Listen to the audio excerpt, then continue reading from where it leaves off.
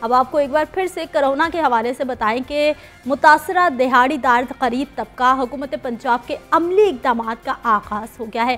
بے روزگار افراد کی مدد کے لیے فارم تیار کر لیا گیا ہے، جبکہ چند روز میں حتمی منظوری سے فارم جاری بھی کر دیا جائے گا۔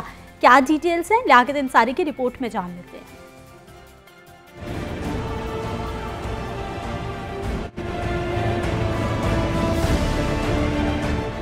کرونا وائرس کے باعث بے روزگار افراد کے لیے حکومت پنجاب کے عملی اقدامات۔ حکومت نے راشن اور امداد دینے کے لیے فارم کا ابتدائی مسودہ تیار کر لیا۔ فارم کو چند روز میں حتمی شکل دے دی جائے گی۔ فارم میں بے روزگار افراد سے مختلف کوائف مانگے گئے ہیں۔ ذرائع آمدن اثاثہ جات اور امدادی کوائف بتانا ہوں گے۔ فارم میں گھر میں کمانے والے افراد کی تعداد بھی بتانا ہوگی۔ فارم جمع کروانے کے بعد محکمہ لیبر و انسانی وسائل، ورکر ویلفیئر بورڈ بے روزگار افراد کی نشاندہی کرے گا۔ پنجاب امپلائز سوشل سیکیورٹی اور امپلائز اولڈ ایج بینیفٹس بھی بے روزگار افراد کی نشاندہی کرے گا۔ بے روزگار افراد امداد کے اہل ہیں یا نہیں، پچھلے تین ماہ کے بجلی کے بل سے بھی اندازہ لگایا جائے گا۔ گھر ذاتی ہے یا کرائے کا، کتنے مرلے کا ہے یہ بھی ڈکلیئر کرنا ہوگا۔ لیاقتن ساری، لاہور نیوز۔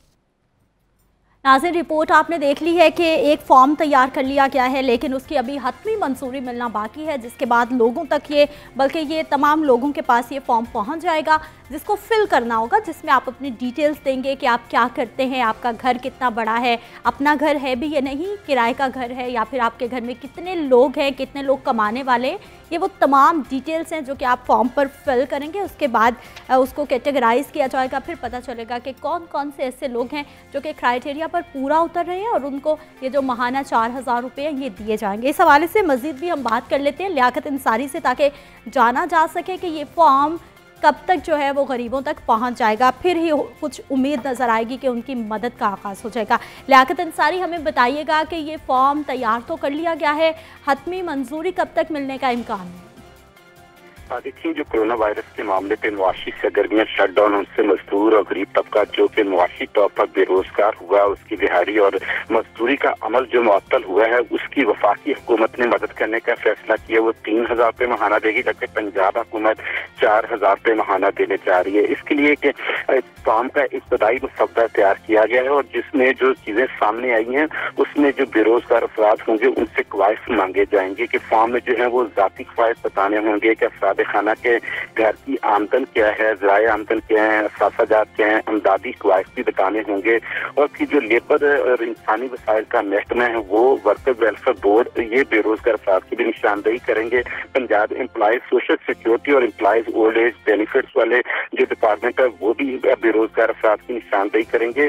جو بنیادی طور پہ اس میں چیزیں بتانے ہوں گی کہ فارم میں بتانا ہوگا کہ گھر میں جو کمانے والے افراد ہیں ان کی تعداد اتنی کی جو بے روزگار ہو گئے ہیں اور وہ کیا اس کے لیے اہل ہے کہ ان کو امداد دی جا سکے اس کے لیے جو تعین ہے اس میں ایک بجلی کا بل بھی میٹر کرے گا تو حکومت ٹھیک ہے لیاقت انصاری یہ تو وہ تمام آپ نے معاملات بتا دیے ہیں جو کہ فارم پر درج ہے انفارمیشن کے حوالے سے۔ ہمیں یہ بھی بتائیے کہ ابھی اس میں وزید کتنا وقت درکار ہے؟ کیونکہ سات روز ہو گئے ہیں لاک ڈاؤن کو کتنا مزید وقت لگے گا؟ غریب آدمی تو اسی امید پر بیٹھا ہے کہ ہماری کوئی مدد کر دے آ کر۔ جو یہ فارم سامنے آیا اس میں کچھ ایسی شرائط ہیں جو کہ مزدور طبقے کے لیے اس کے حوالے سے اس کو بھرنا مشکل ہوگا۔ بہرحال، جو توقع کی جا رہی ہے کہ اس فارم میں جو ہے تھوڑی سی تبدیلی ہوگی اور آئندہ تین سے چار روز میں وزیر اعلیٰ پنجاب جو ہے اس فارم کی منظوری دے کر اس کو جو ہے وہ جاری کر دیا جائے گا اور اس کے بعد جو ہے یہ متعلقہ ڈپارٹمنٹس کے ذریعے ان فارم پر جو ہے وہ مزدوروں کے جو ہے کوائف حاصل کر کے تو امداد کی فراہمی کا سلسلہ شروع کر دیا جائے گا۔